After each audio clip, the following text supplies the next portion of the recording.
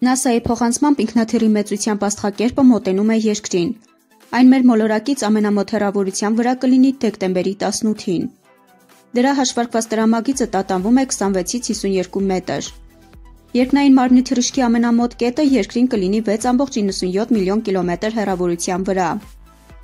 Դրա արագությունն այդ կետում կկազմի վայրկյանում մոտ 7.65 կիլոմետր։